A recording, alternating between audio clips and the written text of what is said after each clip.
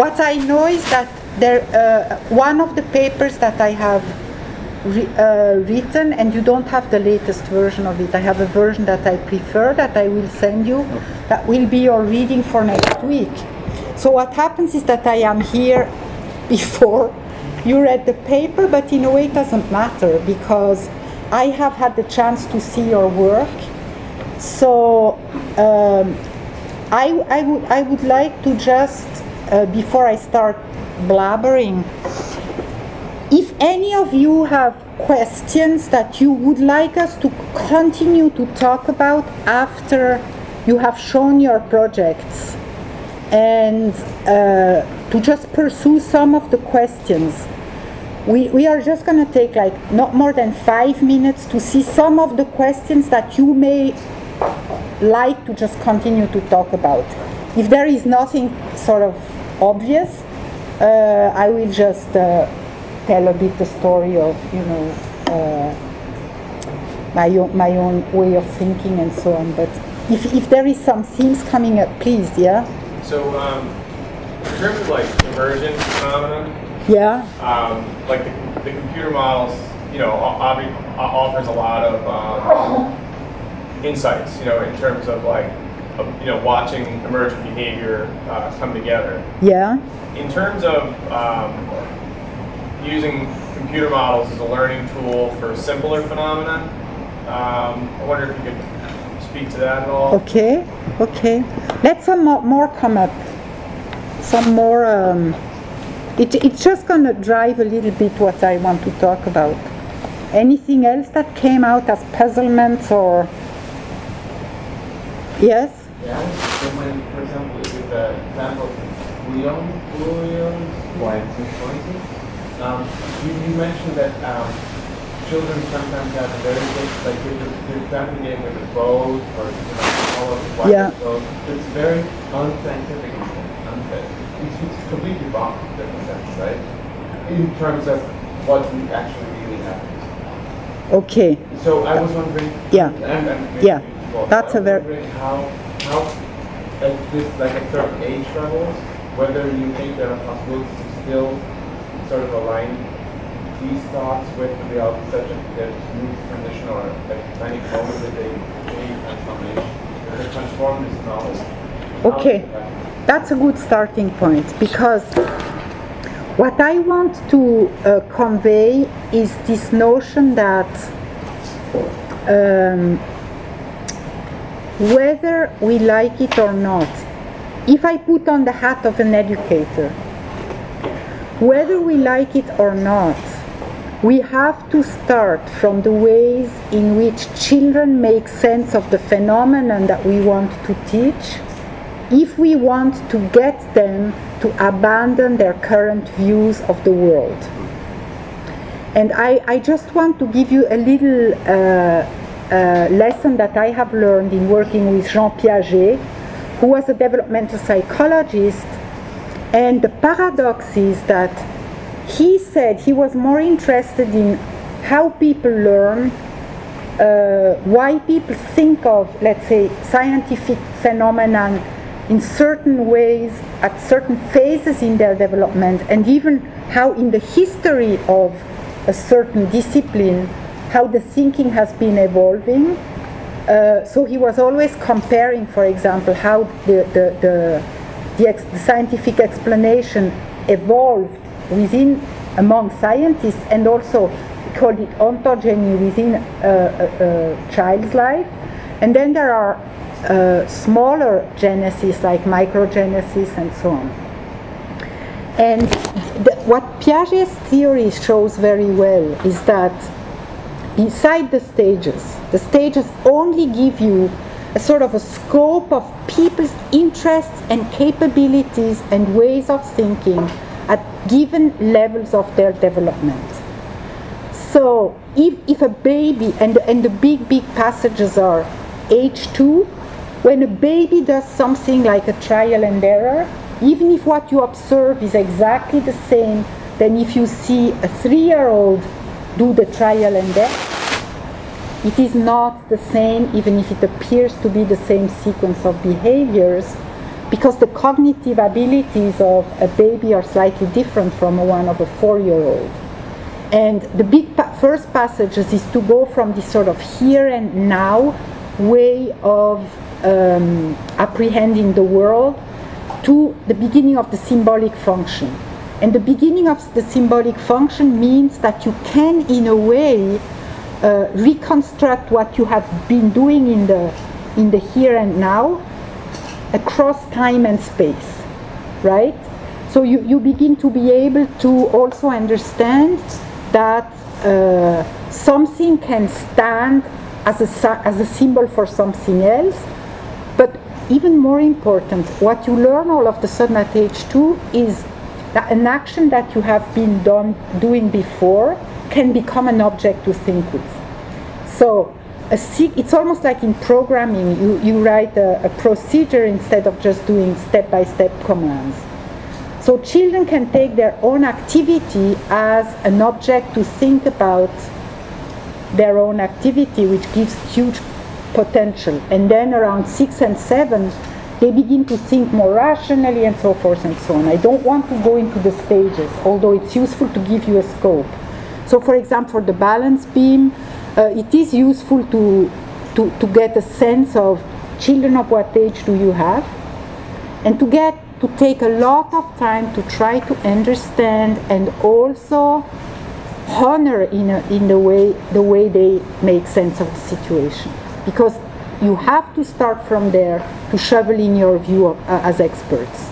You cannot just start from the point of view of the expert and then water it down for those who have not yet understood to get to understand it. You will not succeed. Because people have to connect what you are trying to teach them to their own experience and what they had made of their experience, they will always bring it back to that. So it's not a good idea in general, and there is a lot of literature about that, to think about the novice expert model in the dichotomous way in which much of computational tradition, even in, in, in, in thinking about learning as information processing and so on, this, this dichotomy between the novices get it wrong, the experts have it right, you know. Uh, we are going to model way, ways in which the expert sees, and then we water it down for them to understand. It doesn't work. And actually, we have seen some of this. We see some of this even in the FabLearn co conference when, when an engineer uh, tries to explain to non-engineers, you know, how to, to make an Arduino board work if the person has no sense of, even give you a little sense of why, if you have to do all these random acts, why this, this, this is going to be of benefit to anything at some point, you don't go far, far away. What Piaget has so, shown so well is that people, he defines intelligence as adaptation, and, as, and adaptation as a balance between actually being able to impose one's order on things. You always look at the unknown as a kind of something that is already familiar. This is our ways, no matter what age we are, to actually uh, get a handle or try to understand things that we don't understand yet. It's called assimilation in this theory, but uh, you can call it different names. It's imposing one's order, is, is to look at the unknown in the terms of the familiar. It's just getting at something new in terms of what you already know. And sometimes the kinds of things you already know are even of a heuristic kind, like it goes meta, because we are not just learners about phenomenon, we are learners about I know myself, I know what works for me, you are learners about learners. So sometimes if you don't know how to go about a situation, you actually start at the opposite end. Instead of imposing one order, to, you, you start by saying, I'm just going to meddle around with the situation. We call it, you let the object talk. Because in a way you know that if you just start messing around with some materials, the ideas will come and the more you do it and you the, the, and then the, the ideas will eventually progress. So it's this paradox, you know, if you want to get ahead, get the theory, but if you want to get the theory, get ahead, get, get, get, get modeling. And what Piaget showed so well is that it would be an adaptive catastrophe if any organism, an intelligent organism, would change their worldview, their belief systems, is the best possible ways that the organism has been handling the complexities of the world in which it's living given its own maturational level. It would be a total catastrophe for an organism to change its worldview, not, not for its way of thinking about things, not to be sticky, just because you receive a surface perturbation from the point of view of the organism by somebody else. Be that perturbation the expert view of the world. It would be a catastrophe if an organism would too quickly accommodate constantly to what it hears from its environment. And this is why organisms don't do it, whether you like it or not as a teacher, they don't do it. You, you, you, you, you, can't, you can't do it. Because it's like in psychotherapy. You, you, you, if somebody gives you an answer, you are going to take this in, the right answer, let's say, to a problem, and then it's get worked in, worked out in ways that are not visible from outside by the organism, and it brings you back in a certain field where it's compatible with what you already know. It's exactly like in psychotherapy. If if uh, if people have had a bad ex- now I caricature completely. If you have a, had a bad experience let's say with your family or your father, you will, you will generalize it by uh, imposing what you try to solve with your husband or your, or your boyfriends, you know. Um, you, you, in a way, you, you cannot not do that. And if somebody tells you, you shouldn't do that, this is, this is an overgeneralization, you know, this is the way to do it, it won't help. Because we are we are embedded. We are we are we, we, we become the fabric of the kind of knowledge that has allowed us to live for for for for a certain amount of time in certain types of situation. Now if you apply this to the cognitive uh, level it's the same.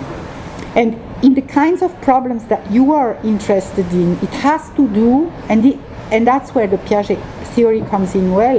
It has to do with trying to understand how they understand the phenomenon and how you can offer obj- prompts, uh, facilitations, uh, an environment like and, and how you can use the technologies to allow them to explore this phenomenon from their point of view by also having the point of view of something else or somebody else. So it can be the right answer by the teacher. It can also be the other ways in which other people of different ages or the same look at the phenomenon. It can be the way in which certain tools uh, let you see. Because what you want to do is to shake the belief system. That you want to do. To shake the belief system but in order to get shaken in a way that will prevail, that, that will not just disturb or be rejected by the sort of stickiness of the way we think, um, there needs to be more than one opportunity to engage the phenomena. Marvin Minsky says it in a way that I like. He says, a phenomenon that I, I don't quite know only has a meaning if it has at least three. so only if you have at least three different ways or four or five different ways of looking at something that, that is unfamiliar, you begin to put in question your own ways of thinking. And then it's a lengthy process, you know, for people to actually reach the, the kind of understandings that you would like. So one hopes, and it's the case, that educational institution in a way they know more or less what's the the boundaries what's the scope right they are not going to try to teach something crazy uh, to people, to very little people, for example, uh, the very, very complicated algebra or, or, physics or so, or so on. But still, um, there are very big differences in the way in which people try to um, arrange, orchestrate the environments for exploration and also and also instruction so that people can actually move away from, from their own position. So that's one of the things that I learned from Piaget. What I learned from, from Seymour Papert is that uh, in order, if you want people to build, even if you are interested in having people thinking more, let's say, logically or rationally or, or more abstractly, the way to go about it is to remember that the genesis of abstract thinking is that we are grounded in our bodies, that uh, without our hands, our minds doesn't work very well, and without tools, the hands and the mind don't work optimally. And uh, in a way, if you are really seriously considering the notion that there is a genesis to come even to abstract or, or expert way of thinking, you shouldn't at all find it uh, regressive to ground in people's even sensory motor knowledge the first types of explorations. And this is the whole adventure of Seymour Papert. You can talk about this later. He offered to, to, to young people an approach to geometry that was not just analytical, that was not just about thinking about figures in space once they have already built. It's not just about applying the formulas, which was a way of expressing what experts see in the dynamic of complex phenomenon. It's not just about that. It's about offering an entrance that allows you to use even your sensory motor and concrete understanding of a phenomenon in order to reach let's say, the capacity to infer the commonalities or not between different types of instantiation of the same phenomenon. So, uh, what, what Seymour Papert did is he said to himself, what is it that you tell somebody or not tell to somebody if you want them to discover it, not just by themselves, with the help of others, but it prevails, it remains. And his hypothesis was that it was a good idea to add to the usual ways in which we learn about geometry another entry point where you tap into your own tacit knowledge about your own movements in space and you offer a way of mediating that progressively, but not mediating as in becoming abstract, in such a way that you begin to have another way of going about geometry.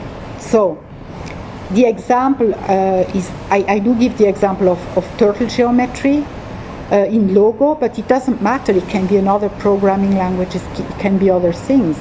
What the child has to do is to think about the ways in which geometrical figures have been built and what tools have been used to build it. It's different to think of a circle when you think of a circle as a point equidistant from a center that has been produced like by a, a compass, compass? No, how do you call it? Um, a, a, a compass. Or if you think of a circle as a certain kind of curvature in a differential way, like certain amount of going forwards and turns. And the idea is that if you want to understand circleness in a rich way, you need to multiply these different ways of thinking about circleness before you can abstract the notion of circleness. The same goes with number.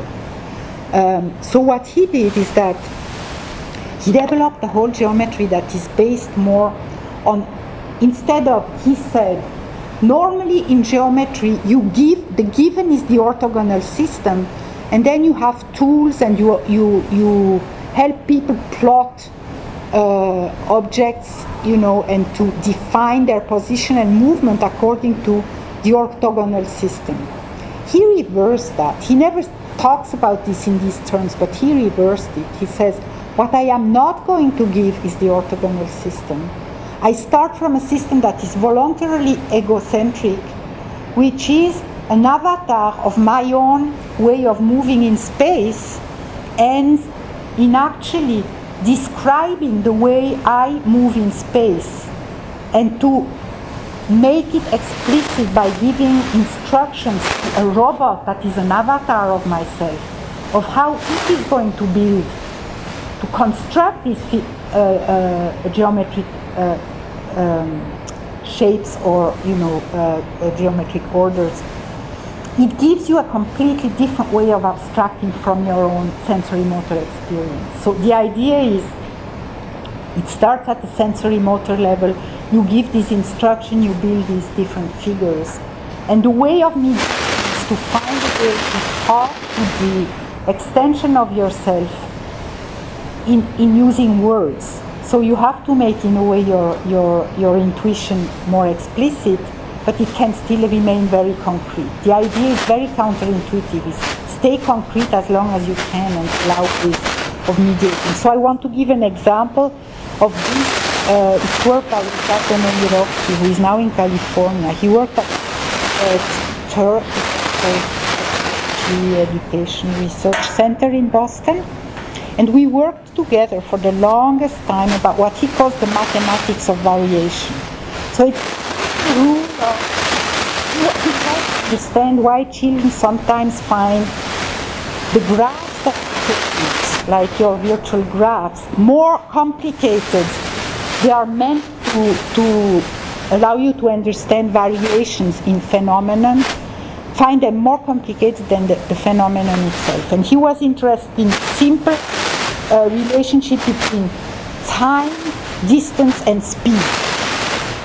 So what they to introduce young children to graphs of, uh, you know, uh, distance, uh, vitesse, uh, time, they started at the sensory motor level. So they have a motion detector, and the child has a sensor on the body, and the child moves in front of the motion detector, and what the motion detector detects is the distance of this button according to it. And it writes it down as it plots it as a value on a graph that is in the process of being constructed. So you can imagine it's pure sensory motor. I go, I go like this, I see, oh, it goes up, you know, I go back, oh, it goes down. I accelerate, oh, the slope is much, uh, much higher. I go back, oh, the slope is much more steep. So the mathematician looks at you and says, this has nothing to do with math. this is pure sensory motor. On the other hand, to be able to control the graph by your movement and to begin, the children go, and I am talking not about tiny children, I'm talking about 12, 13, 13 year olds. They go on the graph and they, and they begin to say, each time when I go fast, it goes blah, blah, blah. Each time when I go uh, backwards, it goes blah, blah, blah. When I go, so these are little theorems. They are still wrong and in I used to call them phenomenological primitives. They are psychological units that you start working with, and you begin to understand the phenomenon in that. Now, imagine a way of mediating that, because you are not satisfied with that. Between that and becoming mathematics, there is a huge gap. So what we did at the time, and we were not, we did many studies with the children and the, and the motion detector.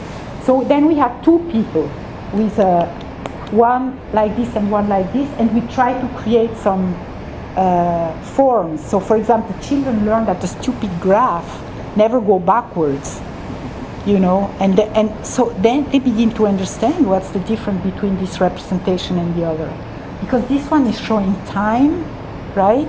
And time always moves ahead, so just that is huge.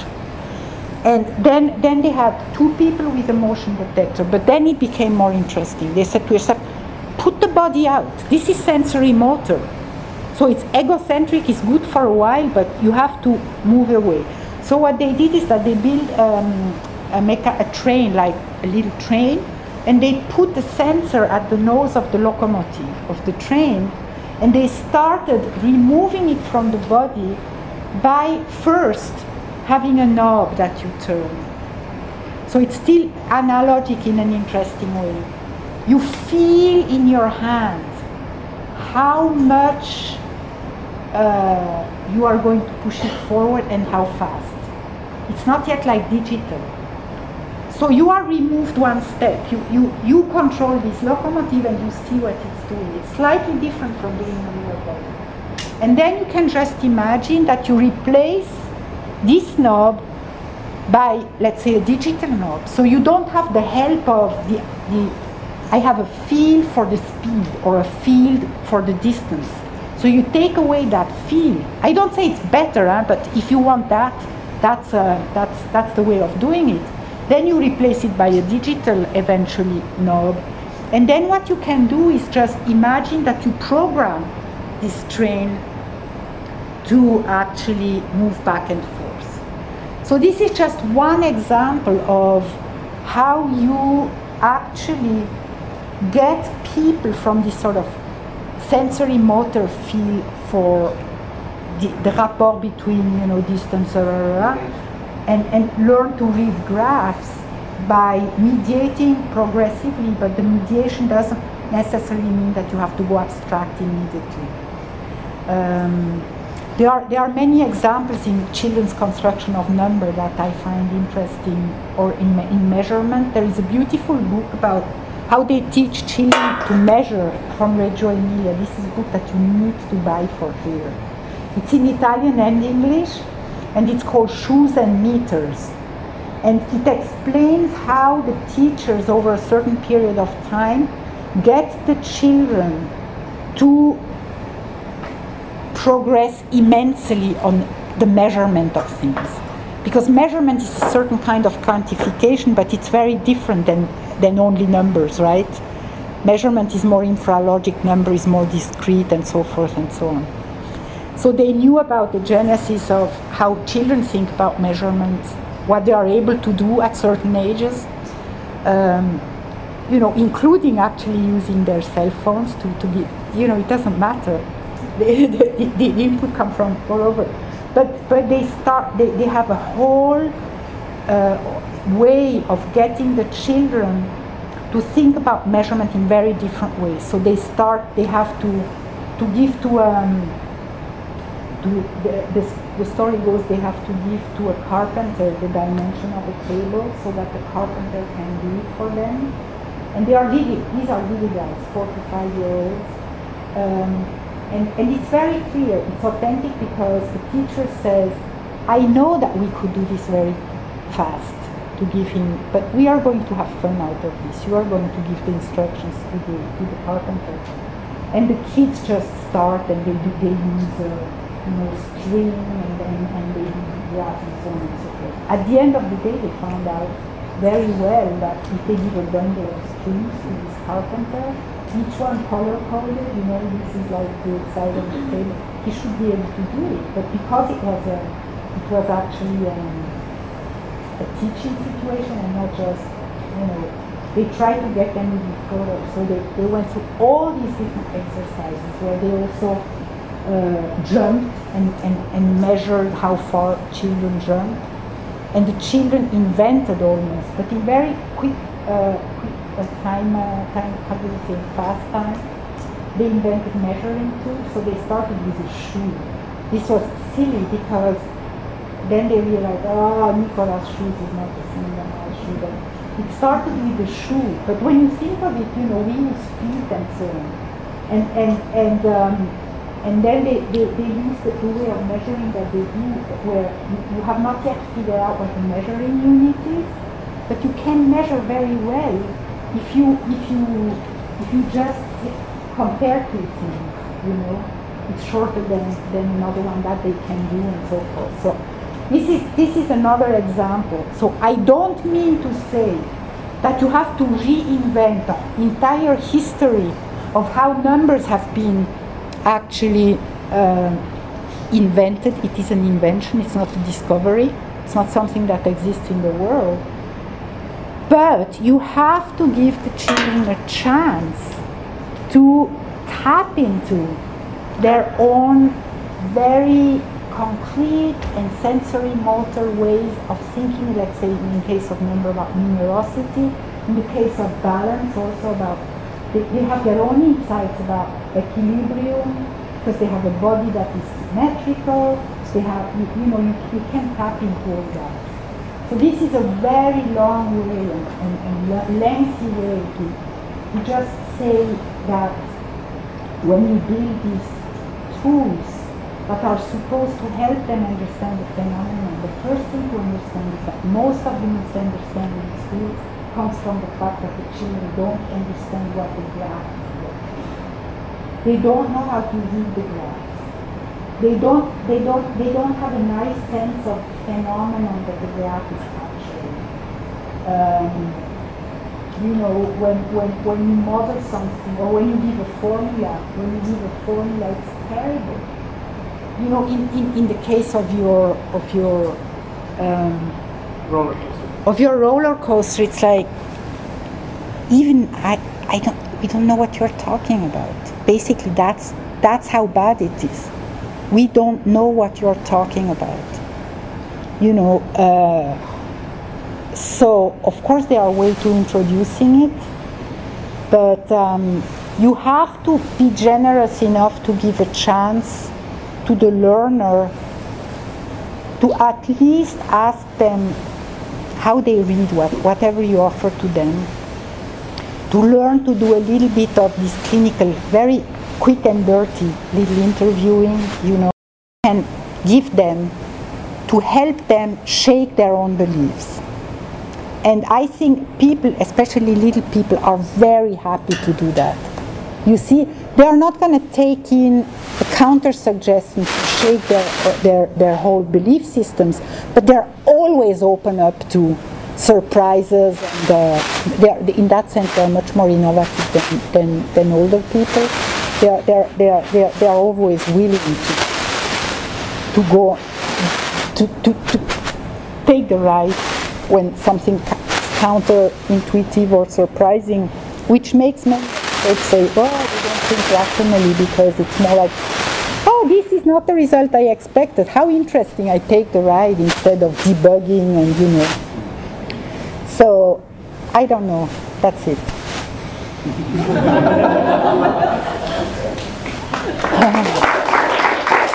but Paulo, Paulo, I really would like, I would like actually to have more of a conversation here because I, I am very, we were talking about this before, I, I like very much what you are trying to do here. And I would like you to give him a, a, a, a real, um, your, your thoughts about how you came to doing this class because we have some similar paths in, in Papert's group, which was all about how to use technologies to offer environments for people to learn in a Piagetian way. And with a correction on Piagetian way, it's like we put Piaget on the head. Piaget was, Papert always says, Piaget was so obsessed with abstract thinking and the child as a, as a scientist that he was annoying but he was so stubborn about his idea of understanding the genesis of what, how you get there. Papert says that his contribution to the world has been an amazing observatory of concrete thinking and the sensory motor grounding of human rational mind. And then he forgot because then when he when he studied older people, it became worse and worse. When he studied babies, it was brilliant. He had it all. The beginning of the symbolic function, he had it a lot because he already thought that it's not just about language acquisition, as all the scientists at the time were saying, you know, all the white guy dead already. Only language is the beginning of symbolic function because that's the, that's the noble one. He talked about pretense play, the importance of of imaginary companions. He talked about the importance of, uh, of um, more iconic types of representations and, and, and so on and so forth. But then he, he was so obsessed by the child as a scientist that he didn't study what the genesis of, let's say, pretense play would be if from a two-year-old you become excellent in your field as an adult. You would become a fabulous fiction writer or you would become a fabulous theater person. Right? Because theater is all about about uh, restituting, let's say, original events in these parentheses in which you can actually act out things and perform. He didn't study what, because um, he was too obsessed with, with scientific uh, thinking. But this is enough for your class because you are actually interested in offering tools for having children think about science-related phenomena in not just in formal but in school, in school uh, in, in, actually formal education. So um, I think the most important message here is just take very seriously this notion of the genesis of how these ideas get, get born and allow not to go too quickly to the the you know, in the same way that I, I like this definition of intelligence that says hold as long as you can opposite ideas instead of giving a solution too fast. It's, it, it's very hard to hold it because we, especially, you know, you guys, you, you know the answer to most of these questions. You, you probably are, are, are at building these trees and so on. So it's, it's, it's sort of voluntary act of slowing down almost in your own mind and just remember, remember how you learned things. It's very difficult because it's also an ada- it's very adaptive, and actually the people I work with study that. It's very adaptive to forget one's own psychogenesis. It would be annoying to remember all the difficulties that we had, you know, when we were trying to master some of these difficulties that we have to understand. So once once you understand it, you want to give the gift too quickly to, to, to people who come behind them. It doesn't work that way. So I don't know what you can do to. I think it, it would be nice for each of your studies, even if you see just two kids of whatever age you want to target, you know, uh, do these little uh, explorations just in parallel, I would say, and um, and let it just inform you of the process. You know? And there is also a lot of literature. The good thing is about most of the phenomena, except for the blood one that is, sort of archived, it's very much in the range of kinds of things that children need to learn in school and that it's good. They, they, you know, it's about physical phenomena, it's about waves, it's about the kinds of things that you find at the exploratorium. Yes? Interview assignment for next week, right? Hmm. So they have an assignment where they're actually supposed to be interviewing someone? To be, I like it. I love it when in classes okay? So what types of things should they be asking? Quick and dirty. So um, don't do, don't try to do assessment or so, conversation. Co conversation. Um, probably, probably probably in the case of each of what you have been doing, just try to get, first of all, one of your friends, it doesn't even have to be a child, one of your friends to explore this and tell you how they understand the relation between almost like a kid, but somebody who is not in the know of this class, and, and maybe just have a few children, I don't know, uh, to have a few children try to uh, make sense of what you offer, but then maybe also imagine.